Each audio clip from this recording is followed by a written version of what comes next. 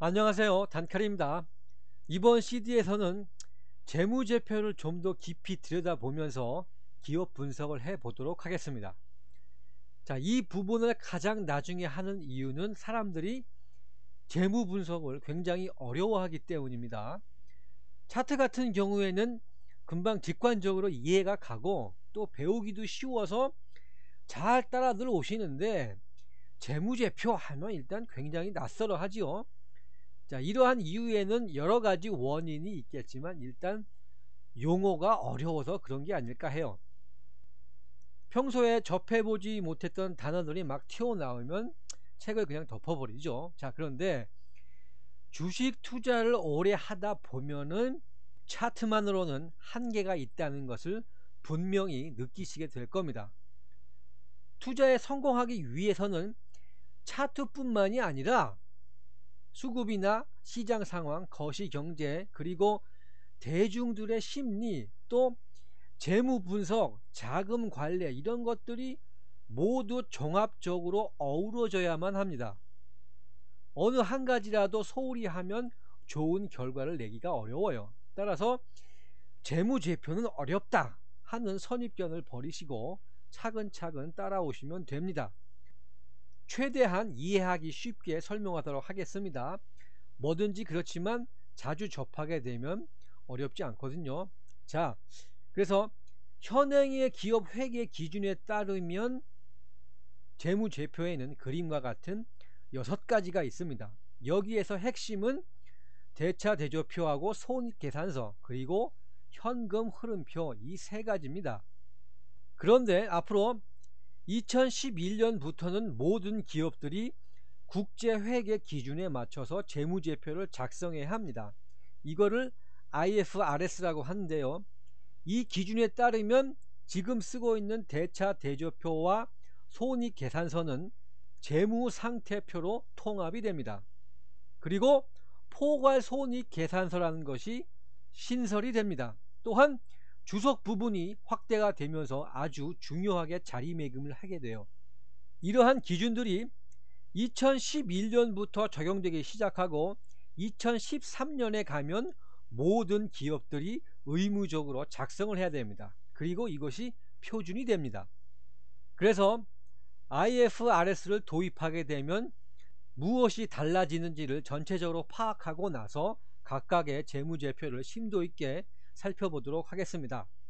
자 일단 국제회계 기준의 가장 큰 특징은 첫째 회계 기준의 큰 틀만 제시하고 세부 지침은 규정하지 않고 있습니다. 따라서 원칙을 벗어나지 않는 범위 내에서 기업에게 많은 재량권을 부여하고 있습니다. 이게 과거에는 정해진 규칙대로 작성을 해야 했거든요.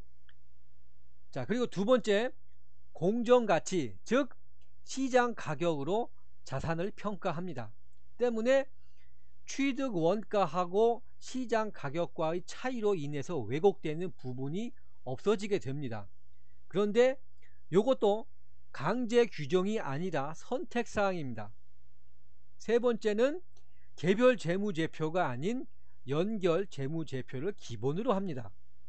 이 두 방식의 차이점이 뭐냐 하면 먼저 연결이라는 것은 몇 개의 회사들이 지배와 종속 관계를 가지고 있다면 이들의 개별 재무제표를 모두 합쳐 가지고 하나의 연결된 재무제표로 만듭니다.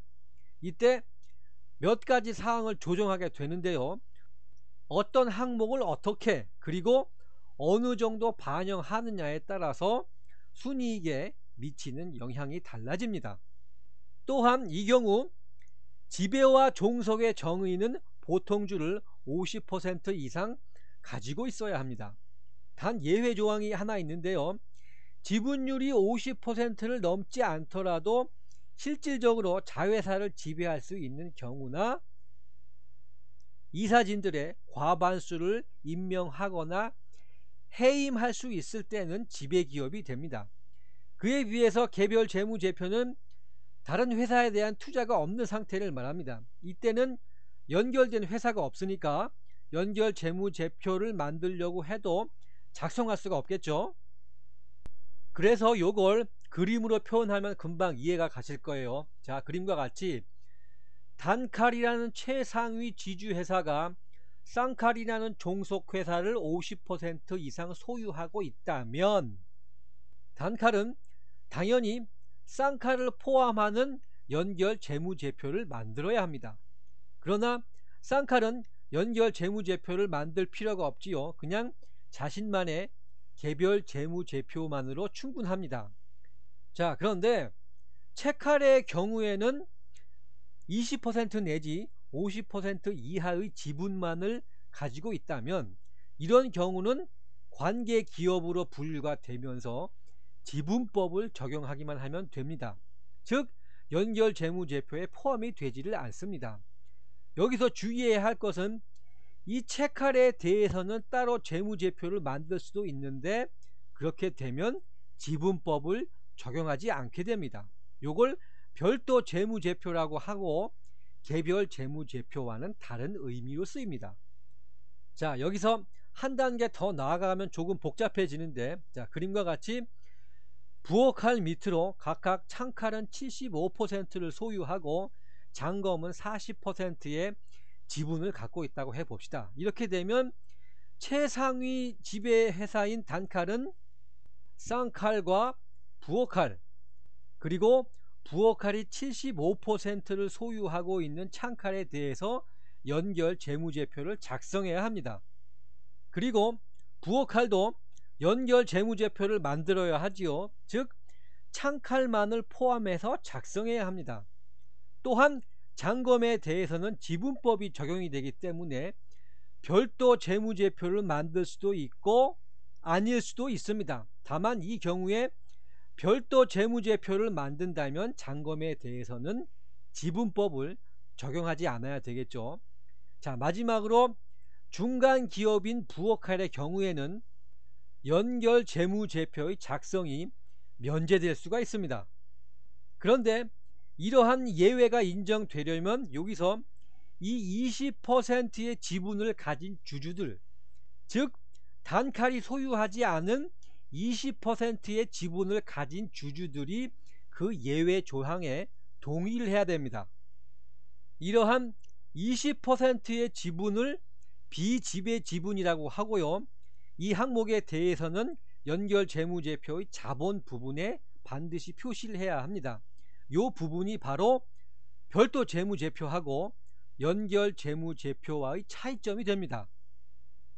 이러한 관계도에서 볼 수 있듯이 연결 방식의 장점이라면 종속 기업을 통한 이익의 조작 또 그로 인한 분식 회계 등이 어려워집니다. 단점은 이제 종속 기업의 범위를 어떻게 설정하느냐에 따라서 오히려 실적의 왜곡이 발생할 수가 있습니다. 자, 여기까지가 연결 재무제표의 개념이었습니다. 다소 복잡할지도 모르겠는데요. 이후부터는 현행의 회계 기준을 설명하고 뒤에 가서 이플스와 비교해서 살펴보면 쉽게 이해가 될 겁니다. 자, 여기서 일단락 짓고 다음 시간에 계속하겠습니다.